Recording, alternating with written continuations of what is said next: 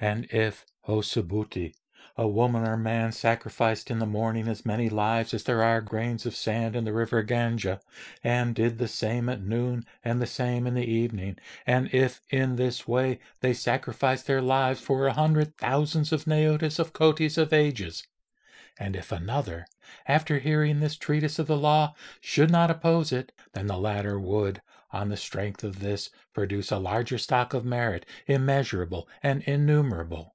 What should we say then of him or her who, after having written it, learns it, remembers it, understands it, and fully explains it to others? And again, O Subhuti, this treatise of the law is incomprehensible and incomparable. And this treatise of the law has been preached by the Tathagata for the benefit of those beings who entered on the foremost path, the path that leads to nirvana, and who entered on the best path and those who will learn this treatise of the law, who will remember it, recite it, understand it, and fully explain it to others, they are known, O Subhuti, by the Tathagata through his Buddha knowledge. They are seen, O Subhuti, by the Tathagata through his Buddha eye. All these beings, O Subhuti, will be endowed with an immeasurable stock of merit. They will be endowed with an incomprehensible, incomparable, immeasurable, and unmeasured stock of merit.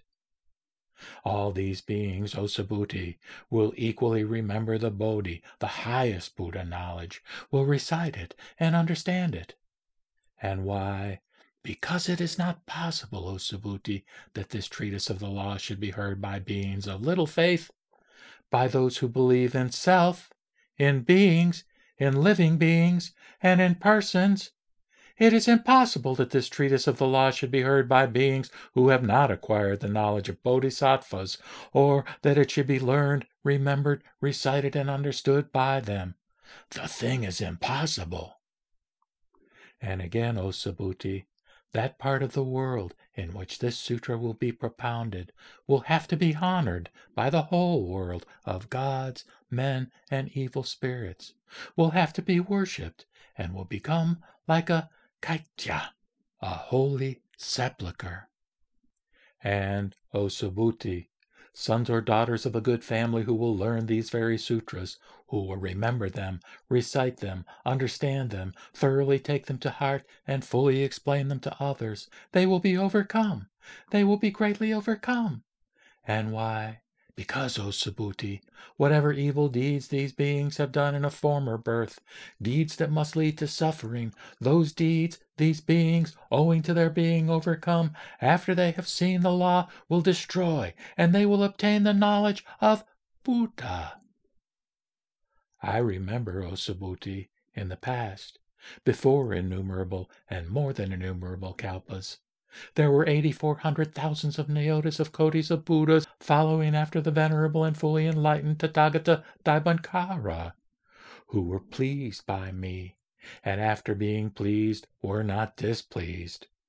And if, O Subhuti, these blessed Buddhas were pleased by me, and, after being pleased, were not displeased, and if, on the other hand, people at the last time, in the last moment, in the last 500 years, during the time of the decay of the good law, will learn these very sutras, remember them, recite them, understand them, and fully explain them to others.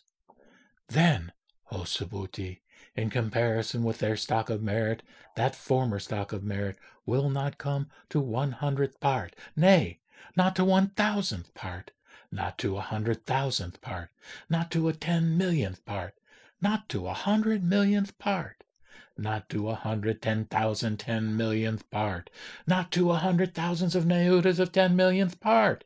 It will not bear number, nor fraction, nor counting, nor comparison, nor approach, nor analogy.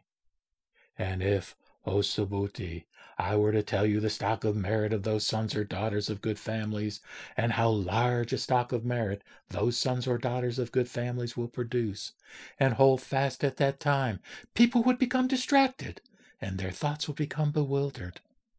And again, Subhuti, as this treatise of the law, preached by the Tathagata, is incomprehensible and incomparable, its rewards also must be expected to be incomprehensible.